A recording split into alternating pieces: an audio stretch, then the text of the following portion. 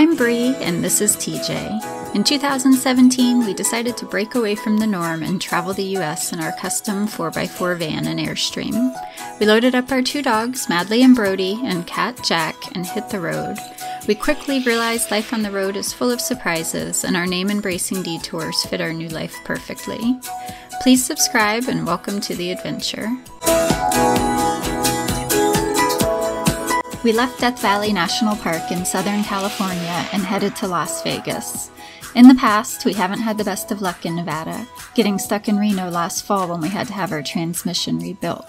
Little did we know our luck wasn't going to improve this time around. To the Sam's Town KOA in Las Vegas um, and realized that I left our spare set of keys on the propane cover when we left Death Valley and appeared to have lost them.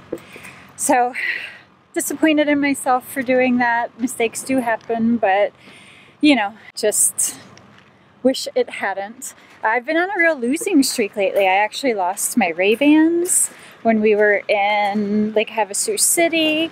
I lost my Birkenstocks and organ pipe. I've been a bit of a mess lately. I don't know what's going on with that. But we're just gonna get set up and move on, right? It was a spare set of keys, thankfully, so we'll have to get that replaced so I don't lose our only set of keys. What's my specialty, TJ? Losing stuff, breaking stuff.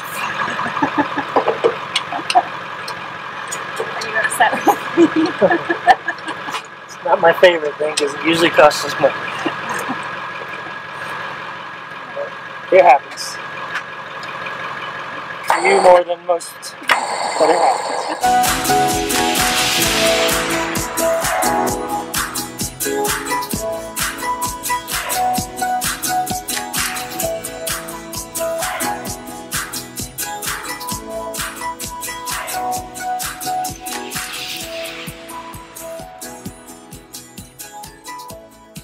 So coming to Las Vegas wasn't all about gambling and having fun for us. We actually got a, a paying job here doing some videography work for one of the expos.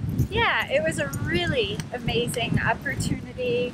We had a great time, saw some really cool heavy equipment, which I think TJ might have been in heaven. It was like oh, it was amazing. it was like a boy's dream. But unfortunately, the timing of it could not have been worse. Yeah, we got here the week before all this uh, COVID 19 stuff kind of broke and got extremely serious.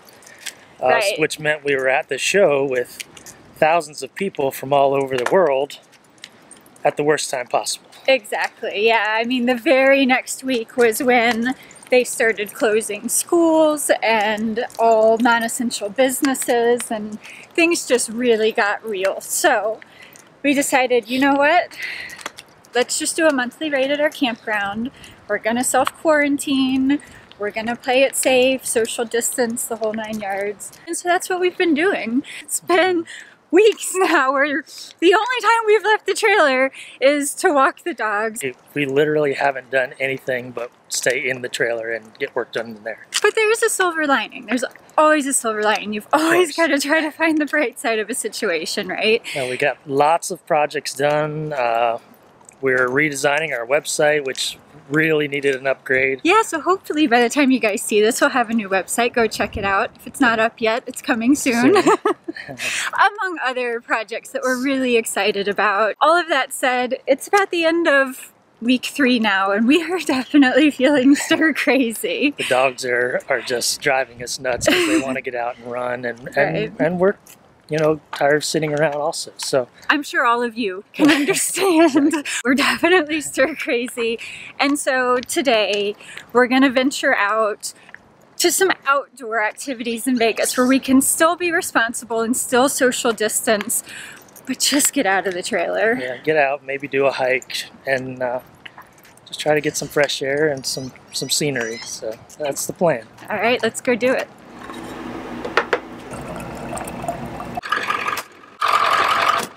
Ready to go? Ready.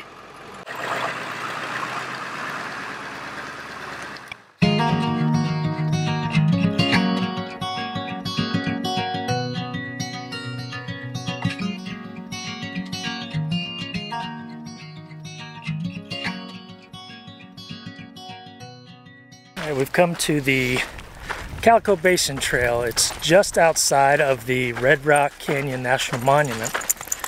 It's just a short uh, mile and a half trail out and back. And uh, just to stretch your legs a little bit, get some sunshine, breathe some fresh air.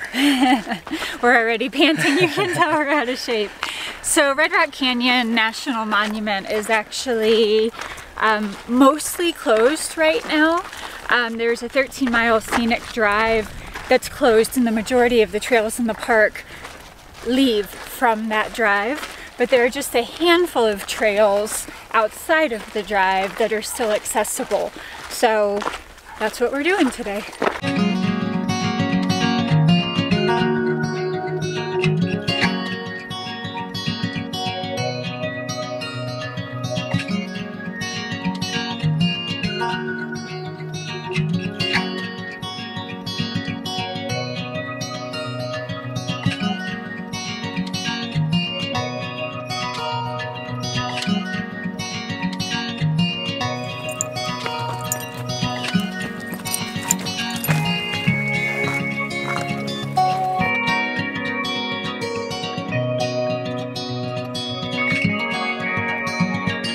How's it feel to get outside? Oh my gosh. Number one, I feel super out of shape. but this place is gorgeous. I mean, like, honestly, we're gonna have to come back and spend more time when the park is officially open.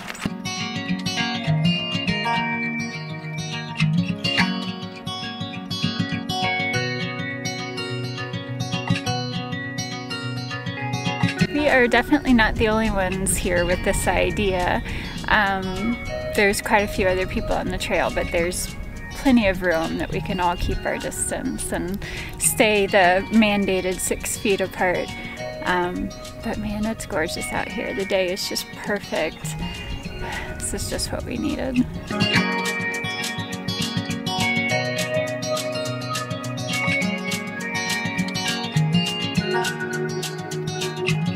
I don't know if it's the fact that we've been basically locked up for the past three weeks, but this place is extraordinarily beautiful. I sometimes feel like you can have like a beauty overload. Like if you see one beautiful thing after another, you start to become a little bit numb to it. And when you take a little break, it almost makes you appreciate it more. So I'm really loving this. It's really gorgeous out here.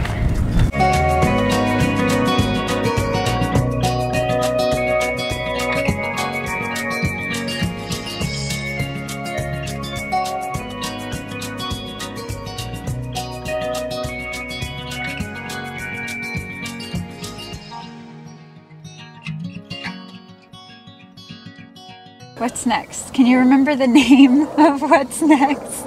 I think the next thing is Seven Magic Mountains. He's called that everything other than that every other time we've talked about it. I can't even remember all the silliness you've said. Anyways, that's where we're headed next. Seven Magic Mountains is a large scale public art installation located about half an hour south of downtown Las Vegas. The creation of Swiss artist Ugo Rondinone is comprised of seven towers of colorful stacked boulders standing more than 30 feet tall. According to Rondinone, the location is physically and symbolically midway between the natural and the artificial. The natural is expressed by the mountain ranges and desert backdrop, and the artificial is expressed by the highway and the constant flow of traffic between Los Angeles and Las Vegas. Regardless if you're into art or not, TJ and I both enjoyed exploring these day glow teetering totems in the middle of the desert.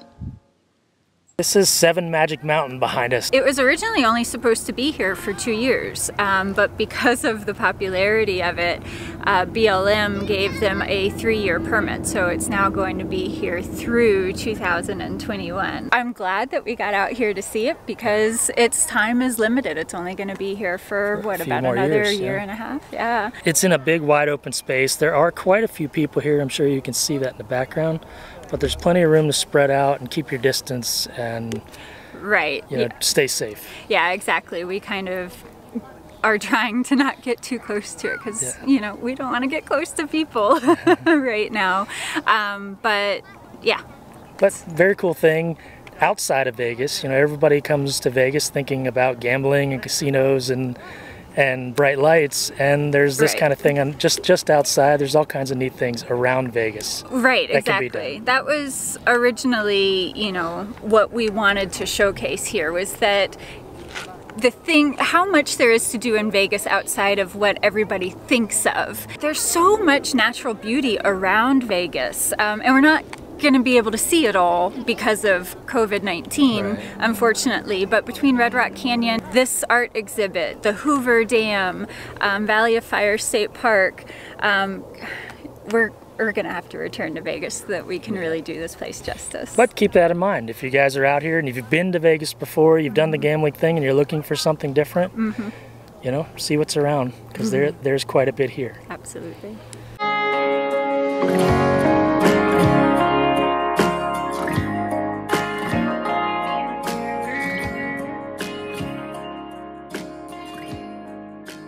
Well, TJ happened to notice that um, Seven Magic Mountains, the road that runs right in front of Seven, Ma- Seven Magic Mountains, is actually Las Vegas Boulevard.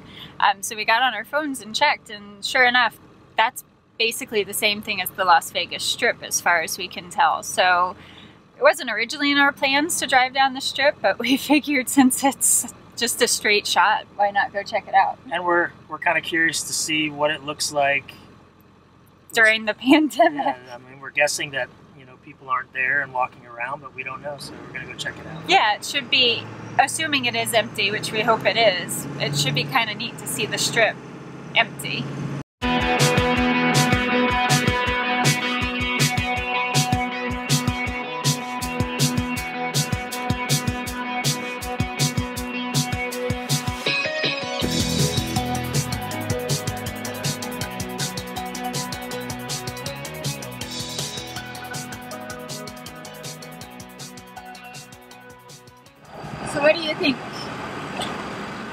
Pretty vacant, pretty barren. There's not a lot of people down here. A few stragglers. Seems like there's a larger police presence. Uh, but I find it strange that the buses are still running.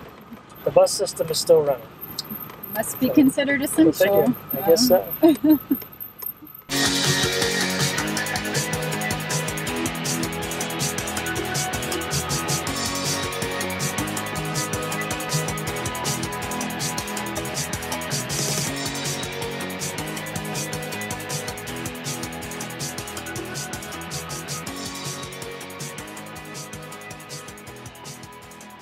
Well, the plan was to um, drive over the Pat Tillman Bridge and, if possible, uh, stop and get a view of the Hoover Dam from a distance. But um, they actually have a checkpoint there and they're stopping all traffic.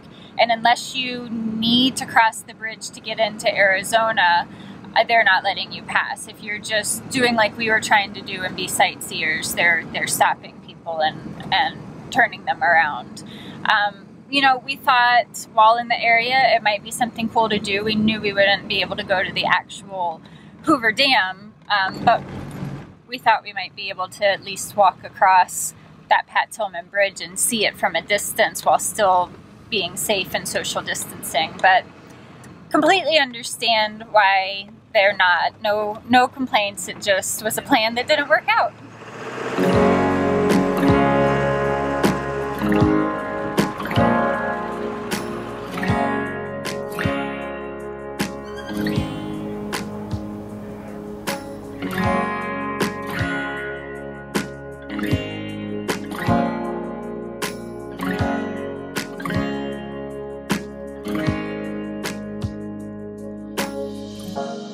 Next week, our month at the campground in Las Vegas is up, and we have to decide what's next for us. Thanks so much for watching. If you liked the video, please give us a thumbs up, and we'll see you next week.